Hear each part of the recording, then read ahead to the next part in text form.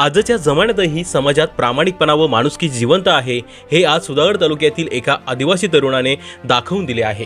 तालुक्यातील सिद्धेश्वर येथील आदिवासी वाडीवरील कृष्णा वाघमारे यांचा मुलगा मोरेश्वर कृष्णा वाघमारे हा पालीत जात असताना दिनांक एकोणीस एप्रिल रोजी पाली नांदगाव मार्गावर भारजे येथे त्याला एक पिशवी पडलेली दिसली.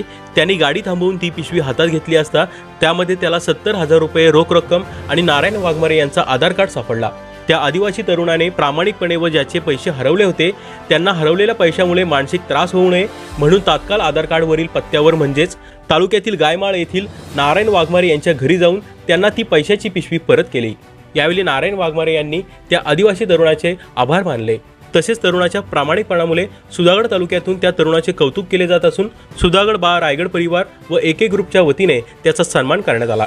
सध्याच्या युगात माणूस स्वार्थी बनला आहे. मात्र सर्वच माणसे स्वार्थी नसतात. हे आज या आदिवासी तरुणाने त्याच्या चांगल्या नियतीमुळे दाखवून दिले आहे. ताज्या बातम्या पाहण्यासाठी लोकमान्य न्यूज महाराष्ट्र चॅनलला सबस्क्राईब करा.